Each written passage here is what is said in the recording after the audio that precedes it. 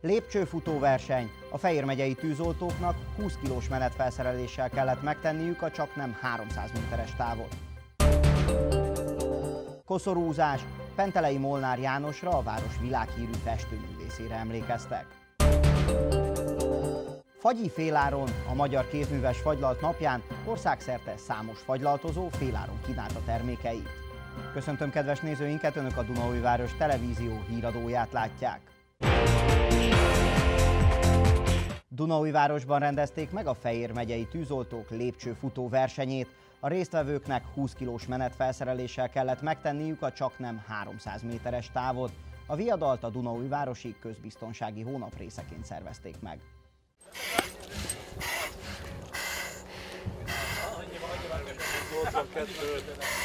Ambrus László a Dunaújvárosi tűzoltók szerparancsnoka is részt vett a Fejér megyei lépcsőfutó versenyen. A megmérettetésen az egész megye területén meglévő létesítményi, hivatásos, valamint önkéntes tűzoltóság képviseltette magát. A mintegy 200 lépcsőből álló távolság még a tapasztalt versenyzőknek is megterhelő volt.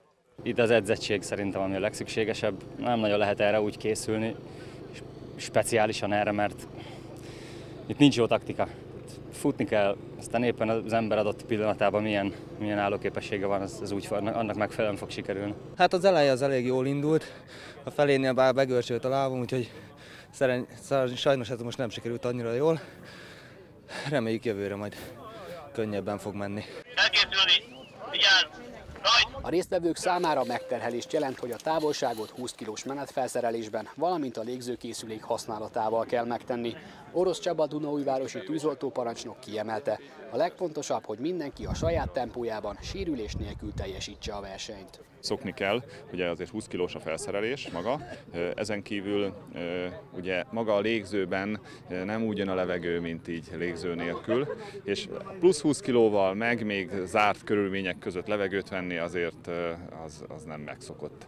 A tűzoltók azért ezt jobban bírják, úgymond, azért egész évben használjuk a légzőt. A szervezők kiemelték, igyekeznek minden résztvevő számára apró ajándékkal kedveskedni. A hetedik alkalommal megtartott Fejér megyei lépcsőfutó versenyen csak nem 50 tűzoltó vett részt. Mögülen folyamatosan indulnak a Fejér megyei kéklámpások. Ezt a csak nem 300 méterből, illetve 200 lépcsőből álló távolságot kell megtenniük időre.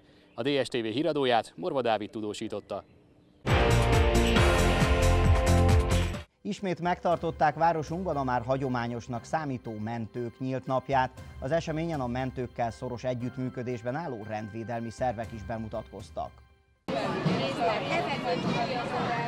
Az újraélesztés is részét képezte azoknak a gyakorlatoknak, amelyeket a mentőállomásra érkező gyerekek elsajátíthattak maguknak. A rendezvényen leginkább a gyerekekre gondoltak, akik megtekinthették a rendőr és tűzoltóautókat, valamint kvízversenyen vehettek részt, de lehetőség volt arcfestésre is.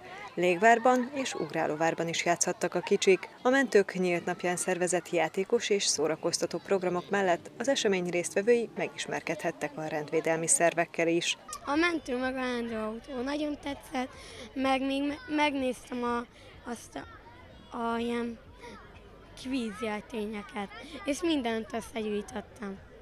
Voltunk a rendőrautóba, tűzoltóba és a mentőbe.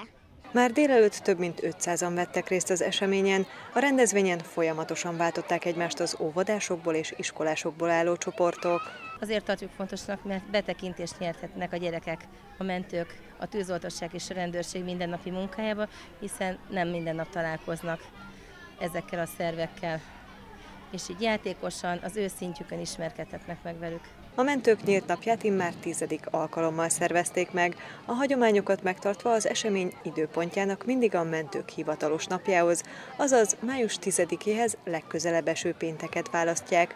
A cél, hogy közelebbről is megismerkedjenek az érdeklődők a mentők munkájával. Nagyon fontos az, hogy közelebb kerüljünk az emberekhez, a gyerekekhez, megismertessük a munkánkat, hiszen a, a mentőszolgálat és a mentőszolgálat élet az egy viszonylag zárt rendszer, nagyon nehéz belelátni a mindennapokba. Fontos, hogy ilyenkor egy kicsit megmutassuk magunkat, hogy közelebb kerüljünk az emberekhez, és barátsággal forduljanak a mentő dolgozókhoz.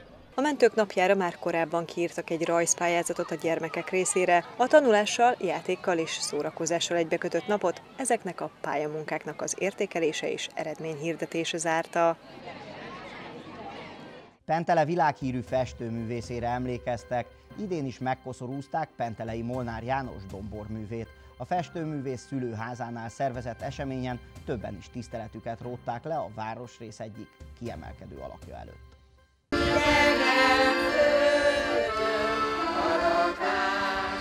A Pentelei Hagyományőrző Egyesület Kék ne felejts énekkara is műsorral készült a Pentelei Molnár János tiszteletére szervezett rendezvényen. A városrész lakói minden évben ellátogatnak a festőművész szülőházához, hogy megemlékezzenek róla születésének napján. Pentele szülötte, Dunapentele világhírű festője volt, és büszkék vagyunk rá, mint ahogy mindig büszkék voltak a penteleiek rá.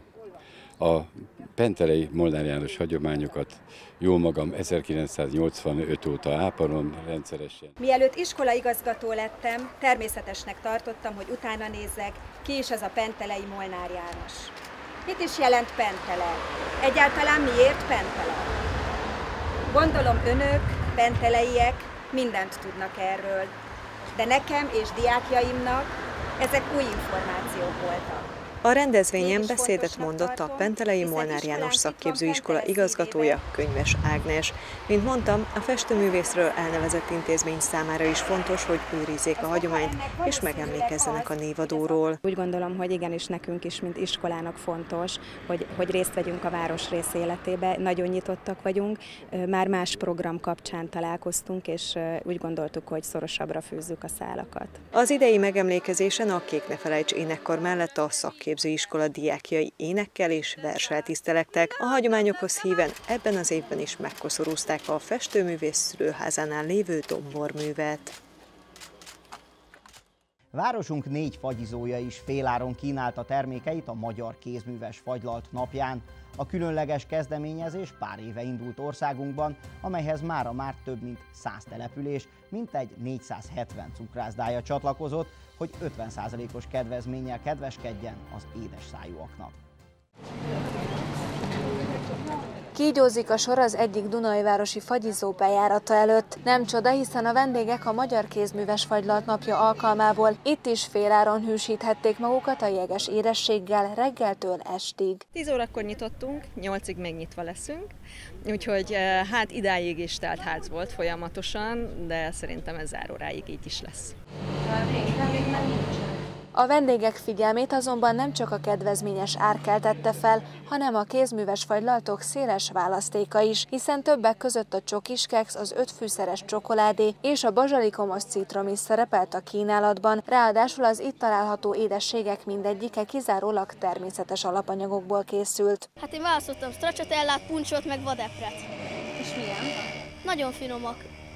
A, érződik rajta, hogy tényleg vadeper, meg hogy puncs, és a stracciatella is finom, vaníliás, meg csok is. A szokatlan kezdeményezés pár éve indult a kézműves fagylalt népszerűsítése érdekében, azonban a mozgalom céljai közé tartozik a jótékonykodás is. Több város cukrászdája a közelben lévő kórházaknak vagy óvodáknak is felajánlott néhány gombócot, így örömet szerezhettek a betegeknek és a kicsiknek egyaránt. A Magyar Kézműves Fagylalt napjához kapcsolódó féláras akcióhoz egyébként országosan több mint 100 település mintegy 470 fagyizója csatlakozott. Én a levendulás fehér csoki és az erdei gyümölcsös túró mellett döntöttem, de ezeken kívül még számtalan íz közül választhattak az édes szájúak a fagylalt napján. Városunkban négy fagyizó is csatlakozott a kezdeményezéshez, akik a hagyományos csoki, vanília puncs mellett a különlegesebb ízeket is féláron kínálták a vendégeknek. A DSTV híradóját Perkiti tudósította. Az egyhetes próbatétel végére értek a végzős középiskolások, a német írásbelivel lezárult ugyanis az érettségi sorozat első szakasza. Ezt követi még a választott és a szakmai tantárgyak vizsgája, végül a tanulóknak szóban is bizonyítaniuk kell tudásukat júniusban. Ennek azonban meg lesz az eredménye a jövőben, hiszen egyes felmérések szerint akár 40 ezer forinttal is többet kereshetnek az érettségivel rendelkező munkavállalók. Ezek a felvételek még a hét elején készültek a végzős középiskolások próbatételeinek kezdetén. Május 4-én indult ugyanis az érettségig sorozata a magyar nyelv és irodalom írásbelivel. Ezt követte kedden a matematika, szerdán a történelem és csütörtökön az angol megmérettetés. Az egyhetes vizsgadömpinget végül a német nyelvvel zárták május 8-án.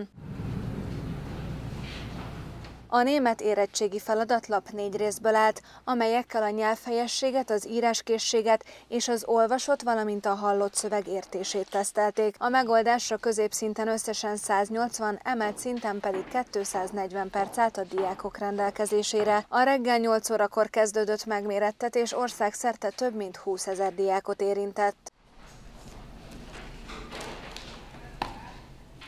A próbatételek sora az elkövetkezendő hetekben tovább folytatódik a választott és a szakmai tantárgyakkal. A tanulóknak végül szóban is bizonyítaniuk kell tudásukat június közepén. A legtöbb diák az érettségit tartja a legnagyobb kihívásnak eddigi tanulmányai során, hiszen négy év tananyagáról kell számot adniuk legalább öt tantárgyból. Ennek azonban az eredménye és a megfelelő elismerése is meg lesz a jövőben, hiszen egyes felmérések szerint akár 40 ezer forinttal is többet kereshetnek az érettségivel képességével rendelkező munkavállalók. A bizonyítvány jelentőségével a diákok is tisztában vannak. Nyilván az érettségivel van egy előnyöm azokkal szemben, akiknek nincs érettségi kezükbe. Munkahelyekre is ugye előbb nézik azt, hogy kinek van érettségie, mint akinek nincsen. Meg ugye a sulikba is számít, hogy milyen pontszámokat értünk el, vagy hogy hányos lett. Egy álláskínáló internetes oldal adatai szerint az alapfokú végzettséggel rendelkező alkalmazottaknak átlagosan bruttó 161.573 forintot kínálnak a munkáltatók. A középfokú tanulmány 170.406 forintot, míg az érettségi akár 201.000 forintot is érhet. Az emelt szinten tett vizsgáknak pedig még ennél is nagyobb lehet az értéke. Egyre jellemzőbb az főleg a mi területünkön, a közgazdasági vonalon, hogy az emelt szintű érettségi az, ami elvárás, ami viszont borzasztó nehéz. Tehát a középszintűnek is úgy érzem, hogy hatalmas rangja van a mai világban. Az érettségi után azonban még érdemes tovább tanulni. Ez derül ki az átlagfizetéseket vizsgáló statisztikai adatokból. A sikeres OK és vizsgát tevők már bruttó 205 ezer forintot, a főiskolát vagy egyetemet végzők pedig több mint 300 ezer forintot vihetnek haza a felmérés szerint. Természetesen a középiskolák végzős diákjainak június végéig még csak az érettségi teljesítésére kell koncentrálniuk, a további képzésekkel ráérnek szeptembertől foglalkozni. Záró fordulójához érkezett az MB2-es asztali tenisz bajnokság. A bronzmérkőzés első találkozóját hazai medencében játsza a DFVE együttese, Itthon játszik a Dunaújváros Pase, illetve a Városi Futcál csapat is. Az elkövetkező napokban számos érdekes és izgalmas sportrendezvény várja a szurkolókat. A BVSC ellenszál medencébe a DFVN női vízilabda csapata a bajnoki bronz csatában. Petrovics Mátyás együttese akár csak a Dunaújvárosiak kettős vereséggel búcsúzott az elődöntőben, így a harmadik helyért küzdhet. A felek már nem először találkoznak egymással, ebben a szezonban három alkalommal is megmérkőztek a csapatok. Ebből kétszer a Dunaújvárosiak, egyszer pedig a fővárosiak kerültek ki győztesen. A két nyert találkozóig tartó párharc első felmonását május 9-én délután 3 óra akkor a Fabóéva sportuszodában entscheidender Sieg.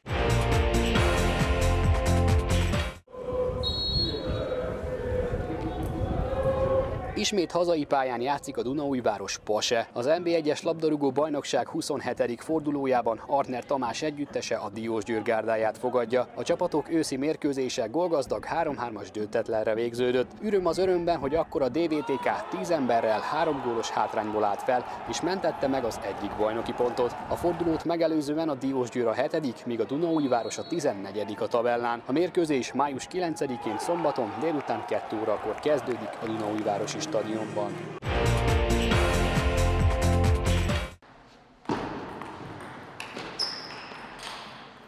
fordulójához érkezett az MB2-es asztali tenisz bajnokság. Az utolsó játéknapon a Dunaújvárosi Főiskola asztali tenisz szakosztálya a Hévízi Sportkör második csapatát fogadja. Varga Rihárdék ősszel imponáló magabiztossággal 12-6-os összesítéssel győzték le a Zala megyeieket. Ha a hazaiak ezúttal is nyerni tudnak, akkor a harmadik helyen zárják a 2014-2015-ös bajnoki szezont. A találkozó május 10-én vasárnap délután 3 órakor kezdődik a Dunaújvárosi Főiskola tornatermében. you been.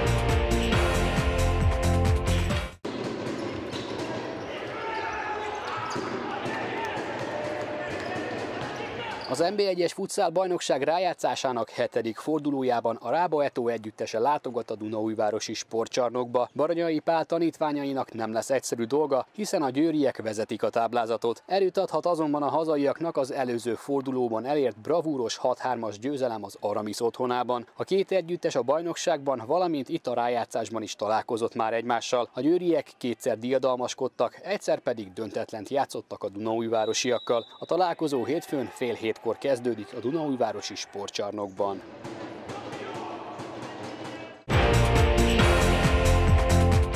Szombaton délelőtt fátyol felhős, napos idő lesz, majd délután megnövekszik a gomoly felhőzet, és elszórtan zápor, zivatar is előfordulhat. Késő estétől megerősödik az északnyugati szél. Következnek főbb még egyszer, röviden. Lépcsőfutó verseny. A Fejér megyei tűzoltóknak 20 kilós menetfelszereléssel kellett megtenniük a csak nem 300 méteres távot. Koszorúzás. Pentelei Molnár Jánosra, a város világhírű festőművészére emlékeztek. Fagyi féláron a Magyar Kézműves Fagylalt napján országszerte számos fagylaltozó féláron kínálta termékeit. Munkatársaim nevében is köszönöm megtisztelő figyelmüket, tartsanak velünk továbbra is, viszontlátásra!